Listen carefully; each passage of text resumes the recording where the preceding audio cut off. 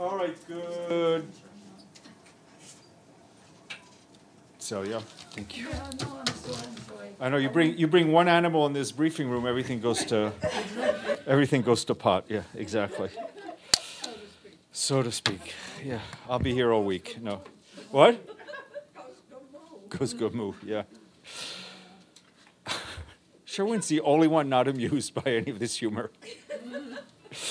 All right, good afternoon. Um, not that you need reminding, this is why you're all here, uh, but in a short while uh, we will have the permanent representative of Switzerland uh, brief you as uh, Switzerland is taking over the presidency of the Security Council for the month of May for its first ever presidency.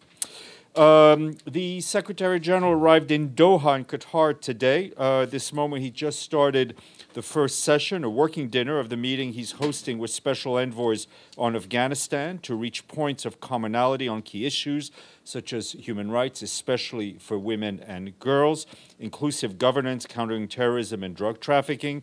The meeting, which uh, will end tomorrow, is intending to achieve a common understanding with the international community on how to engage with the Taliban on these issues.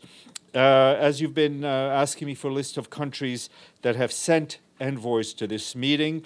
Uh, I can tell you that the countries are China, France, Germany, India, Indonesia, Iran, Japan, Kazakhstan, Kyrgyzstan, Norway, Pakistan, Qatar, the Russian Federation, Saudi Arabia, Tajikistan, Turkey, Turkmenistan, the United Arab Emirates, the United Kingdom, the United States, Uzbekistan, the European Union, and the Organization of Islamic Cooperation. Uh, and we are, as we speak, sending you a note to correspondence with that list. So, for those of you who were not able to type fast enough. Uh, and we'll have updates uh, from the meeting as it goes. And uh, the Secretary General is scheduled to speak to the press in uh, Doha tomorrow uh, before he goes on for onward travel, which I'm about to announce now. He is uh, scheduled to arrive in Nairobi in Kenya on tomorrow, May 2nd. Um, on the 4th and 5th of May, he will chair this year's first session of the UN Systems Chief Executive Boards for coordination. Uh, the board meets twice a year and brings together the leaders of UN agencies, funds, and programs, and it's the highest level of coordination for it's the highest level coordination forum for the UN system. Um, prior to the meetings of the CEB, the Secretary General will on Wednesday uh, is scheduled to attend a state dinner hosted by President of Kenya, William Ruto, Earlier in the day, he will meet with UN staff at the UN office in Nairobi. He's also scheduled to meet um, to hold a press conference at the UN office in Nairobi. On May 5th, on Friday, the Secretary General will travel to Bujumbura in Burundi to take part in the 11th high level meeting of the Regional Oversight Mechanism of the Peace, Security, and Cooperation, Cooperation Framework for the Democratic Republic of the Congo and the region. At the meeting, which will take place on the 6th of May, leaders from the Great Lakes region will take stock of progress and challenges uh, in the implementation of the agreement that was signed in Addis Ababa 11, 10 years ago, excuse me. They will discuss the implementation also of the Luanda and Nairobi agreements, which are more recent. While in Bujumbura, the Sec Secretary General is scheduled to meet um, with the President of Burundi as well as leaders from the region who are attending uh, the meeting. Our Deputy Secretary General, uh, over the past few days, um, has been traveling. She arrived last night in Addis Ababa in Ethiopia to engage in a high-level strategic dialogue with officials from the African Union and the UN country team.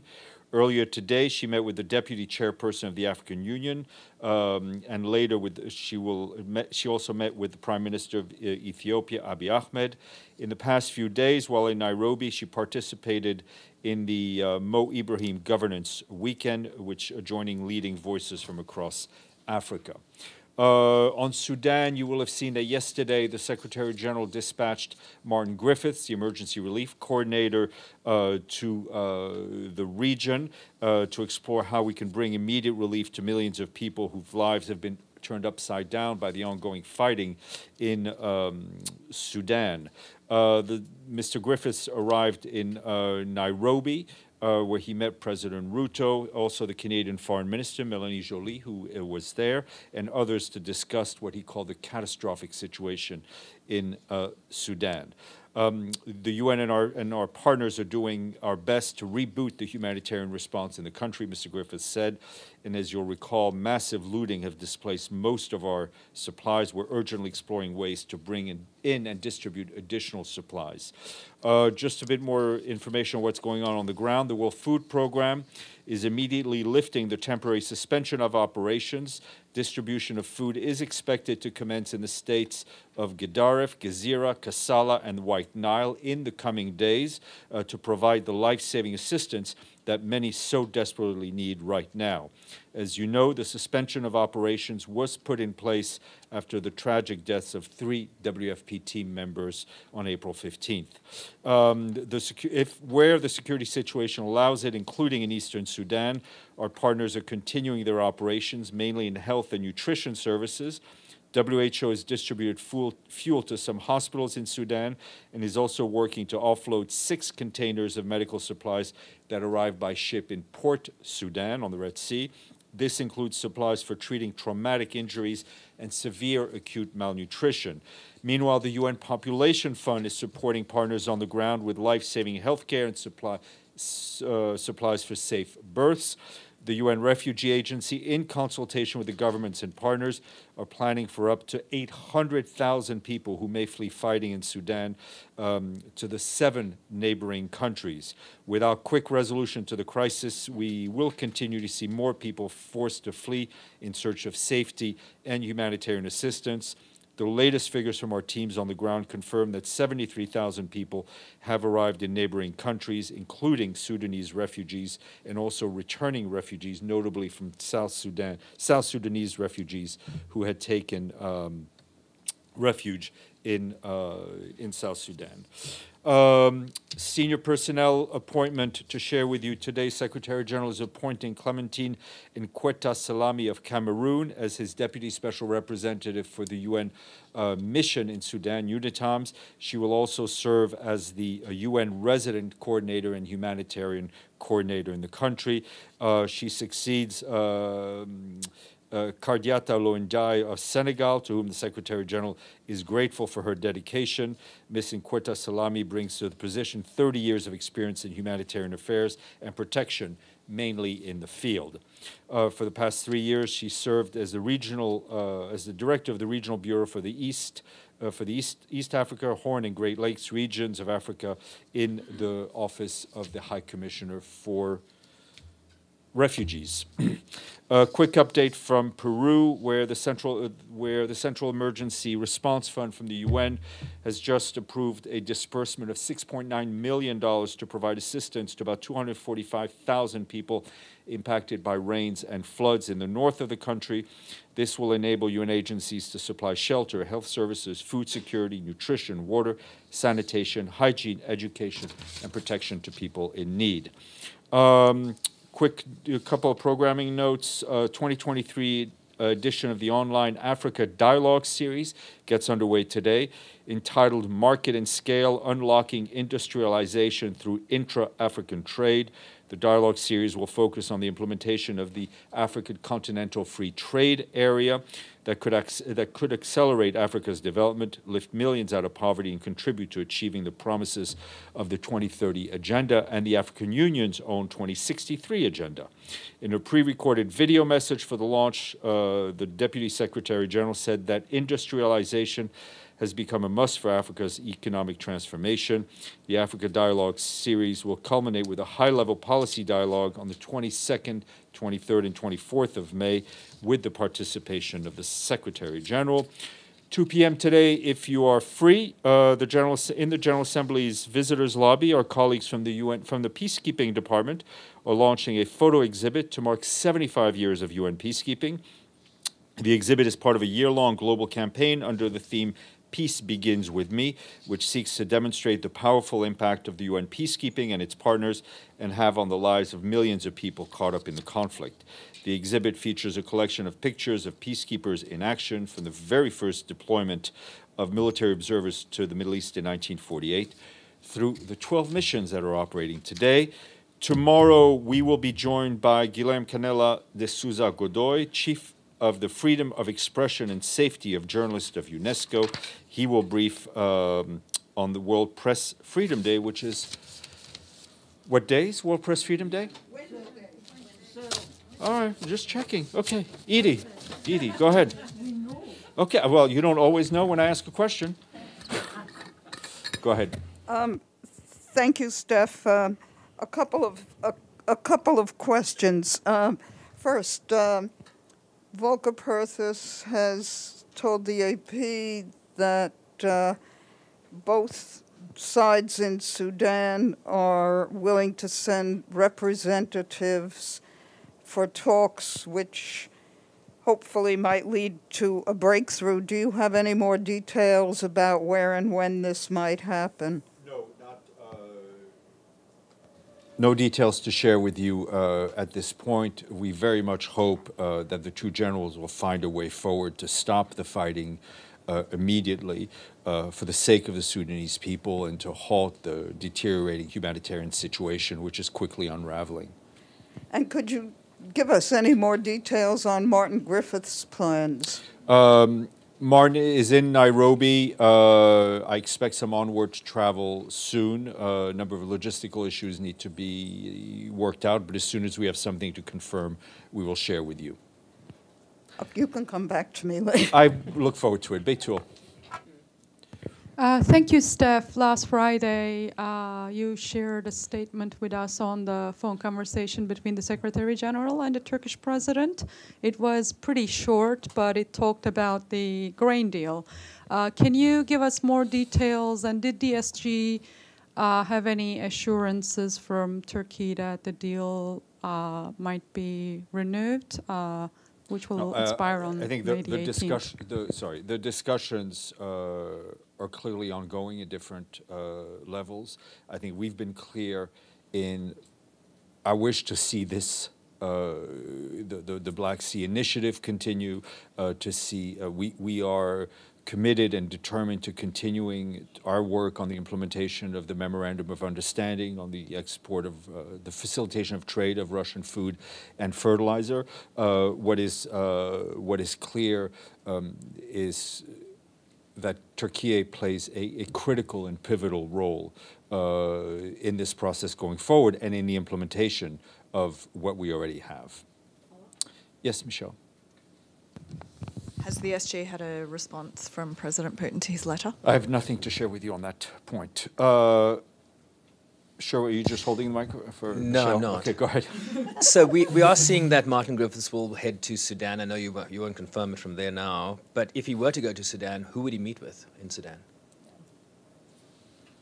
If Martin, Martin's uh, remit is on ensuring the proper coordination of, of humanitarian aid, on ensuring that we see a scaling up of humanitarian aid that, that arise. Um, and he will do whatever he can uh, to do that. But I, I don't want to, the situation is rather volatile. I don't want to predict what will, uh, what will happen. Uh, Deji. Uh, on the Doha meeting, we know that the Taliban is not invited to the meeting, and the Taliban told um, reporters that any meeting about Afghanistan without the participation of Afghan government is ineffective and counterproductive. Given this uh, fact, how, how, how can you ensure that the outcome of this meeting could make a difference on the, situ- in the, on the situation in Afghanistan? You know, God knows we're not in the business of ensuring anything uh, we're in the business of, of being determined and of continuing to work uh, in trying to coordinate uh, the, the actions of the international uh, community for singularity of purpose uh, for the sake of the people of Afghanistan, notably uh, for women and girls in Afghanistan. The Secretary General will provide an update tomorrow on on what happened during these discussions. So, uh, so well, I'll come back to you. So what, what would be the expectation for Secretary General on this meeting then?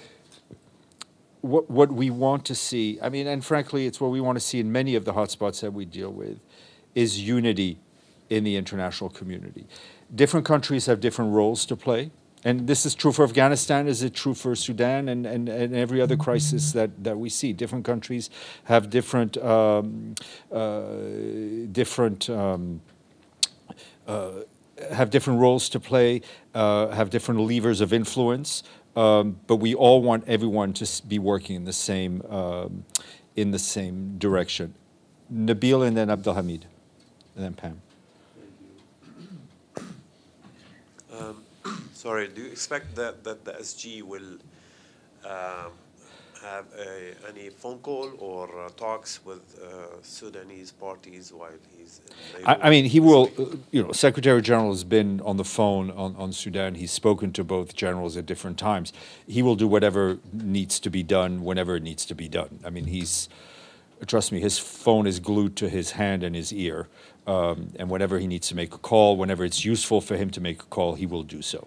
And in Nairobi, do you, do you expect him to hold meetings on Sudan, on the situation in Sudan? Well, I have no doubt that the situation in Sudan will come up in the discussions with President Ruto. You know, President Ruto, part of the Intergovernmental Authority on, on Development, is part of the, the, the troika of leaders with the President of Djibouti, with the President of South Sudan, who are trying to go uh, to, um, uh, to Sudan.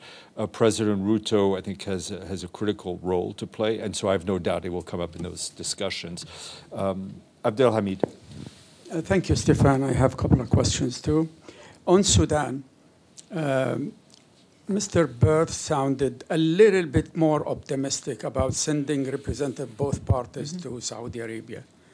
What is different in this initiative? The sixth truce, which has been declared, is not being respected. So, do you see that there is some hope in this? Well, I mean, you know, there, we are not giving up hope, right? Just because,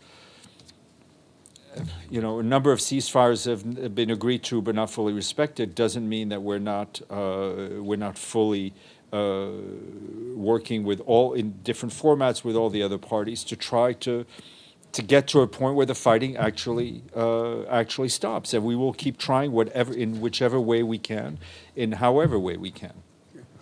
Both leaders are listed on those men wanted for the ICC based on resolution 1591, 1593, 1596 in 2015, 2016. So they are war criminals according to the UN, but how can the UN um, navigate through this? Well, let me just say, I, I- you know, I'm not going to comment on, on, on ICC issues, but as we've said in the past, we will talk with whomever we need to speak with in order to try to bring peace. Uh, One question Yes. on Palestine. Do you mind? have I ever minded? On Friday, no. On Friday, uh, a child of 15 year old, Mustafa Amir Misbah, was shot and killed in the village of Takwa next Beit Lahem. This morning, another child, 17 year old, Jibreen al Lad'a, was killed in refugee camp of Aqba Jabr next to Jericho. Do you have any comment on this? Are you aware of this? This, this is yet another example of the, the unbearable cycle of violence uh, that we're seeing. Uh, and this is something that I think Mr. Uh, Wennesland uh, briefed on and, and, and stated the opinion of the UN very clearly when he was here last week. Uh, Pam, then Toshi. Uh, Thanks, Steph. On, um, just a clarification on the press conference of the Secretary General tomorrow, that will be from Doha? Yes, ma'am, in Doha. It should be live. We should. we're- Could we're- it be bef, I mean, will it be before the meetings or after? It'll be after the meetings. Okay, so a wrap of Yes, ma'am. And on that front, even though you've made it clear and that the Credentials Committee decides recognition, thank you, there is a lot of, um, uh, there are Afghan women all over the world protesting the possibility of recognition. Um, Can you just clarify the UN position on that? Thanks. recognition is not up for discussion at this meeting. The issue of recognizing who sits behind any, the, the nameplate of any country in this organization is a decision made by member states. In the Credentials Committee. In the credential, I mean, it's it outlined by the charter, it's, uh, it's, one of the many things that doesn't involve the Secretary General. Toshi, and then Thank you. Um, about Sudan, could you explain why uh, the SG had to appoint a humanitarian resident coordinator now? Not sure if it's the right time to bring a new person to. the Well, I mean, there, there was someone, there was someone who had, who was, had, whose time had, had come, it was moved on to another post. Uh, she had left, uh, so we, there was an acting, there's an acting uh, person right now. Um, so we're just going through the process. Uh, I, I don't think, I, I would respectfully disagree with you. I think there's no better time to appoint somebody who is there officially and full-time. That's it. Thanks. Thank you. Celia? And then, sorry, and, and, go ahead, go ahead. uh, Stéphane Sudan, thousands of people, not only Sudanese national, are still trapped in Sudan. Who could help them escape Sudan? Well, it is, first of all, we, we, we thank uh, the bordering countries for the support they've given to people leaving, fleeing the violence in Sudan. We encourage all of them uh, to live up to all of their obligations uh, and ensure that civilians who are fleeing violence are accorded their, uh, their rights. But who could help, frankly? It's the two generals who are at war.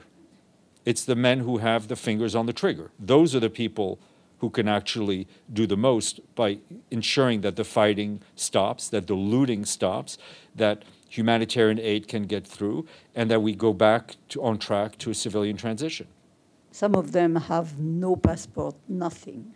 I, They cannot even leave the country. it is, it is a, a tragedy that we have sadly seen uh, too many times around the world. Dulcie. Yeah, I just wanted to ask you about the participants to this Doha Mm-hmm. meeting. Is that one special envoy for each country and each organization, or there, is there an entourage?